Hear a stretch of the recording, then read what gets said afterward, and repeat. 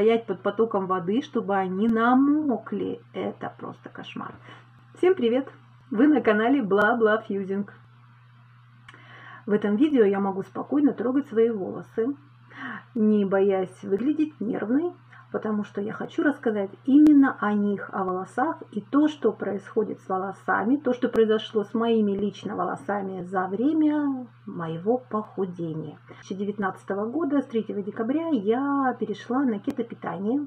За это время я похудела на 43 килограмма. За год ровно это было минус 40 килограмм. И со мной происходили самые разные процессы, внешние и внутренние. И все как по учебнику. Через четыре с половиной месяца у меня, я вдруг заметила, что у меня начали выпадать волосы. Хуже того, я поняла, что и сами волосы, не только, даже те, которые остались, они стали какие-то очень, очень, очень. Э, дело в том, что похудение, в принципе, любое, не только кетопитание, это мощнейший вдруг стресс, происходящий, как говорится, по вашей доброй воле. В моем случае это было все очевидно. То есть э, это стресс прежде всего, как сам, само похудение, как стресс. А, ну и в том числе это недостаток на кетопитании, витаминов. Я пошла сразу же в аптеку с первого, второго, третьего дня своего кетопитания. Я пошла и купила аптечные витамины, пивные дрожжи, так называемые в баночках, которые так, так и называются, пивные дрожжи. Источник витаминов группы В. И когда я поняла, что что-то происходит с моими волосами, я Естественно, что я первым сделала? Я увеличила эту дозировку буквально сразу в два раза.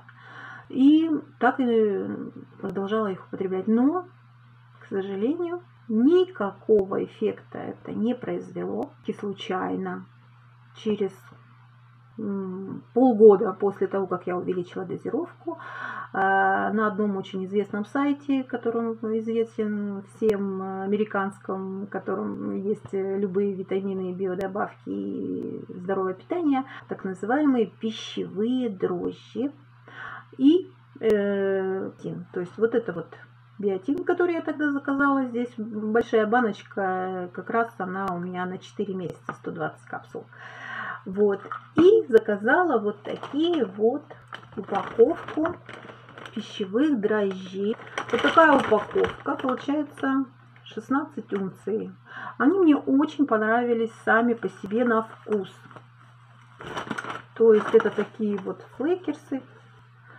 То есть это вот такой вот, э, похоже на чипсы, господи, на растворимую картошку. Очень вкусный такой сырно-грибной вкус у них. Э, добавляя их э, во все очень вкусно, они с обычной белокочанной капустой в салате. Что вы думаете? Ровно, ровно через три дня я поняла, что что-то происходит, наконец, хорошее. Они стали гладенькие, они практически э, вернулся какой-то вот, ну, блеск, э, гладкость. То есть эти дрожжи сделаны в какой-то такой... Это, во-первых, другая форма дрожжей. Это не пивные дрожжи, это делается совершенно другого сырья, не пивного. Это специально выращенные для, как, для этого культура. Дрожжевые дрожжи реально помогают вам. Просто понимаешь, что они усваиваются, в отличие от пищевых дрожжей, которые аптечные. Вот. Но здесь не вся группа. Здесь вот есть на самой этой самой вот список того, что там содержится. И поняла, что по этому списку получается, что B1 там нет. Может быть, наверное, еще мне не хватает этого B1. Он все-таки есть в пивных дрожжах, но я не хочу снова обращаться вот к этим пивным дрожжам, которые у нас в аптеке продаются. Я все-таки решила, что так как я уже очень давно на кетопитании, уже более гораздо года, и в принципе я уже похудела достаточно для себя, во всяком случае, на данный момент я вешу 79 килограммов. Считаю, что это после 122 я чувствую себя обалденно хорошо и зашибись. Вот, и, то есть, как бы в кетозе я уже давно, и я увеличила себе, получается, процент эм, углеводов То есть это у меня сейчас до 40 грамм в сутки чистых углеводов, в отличие от строгого кета, где всего лишь 20 грамм, то есть в два раза. Я решила, что можно попробовать эм, все-таки в свой рацион ввести небольшое количество цельнозернового хлеба.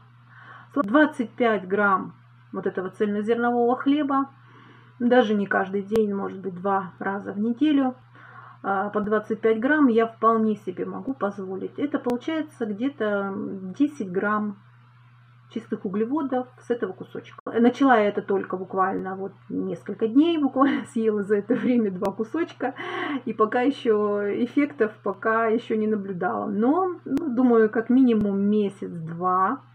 Э, ну и кроме того, не всю же жизнь есть эти американские витамины, хоть они очень классные, но они все-таки не дешевые. И, в принципе, там небольшую дозу хлеба в моем положении уже длительного кетоза я себе могу позволить.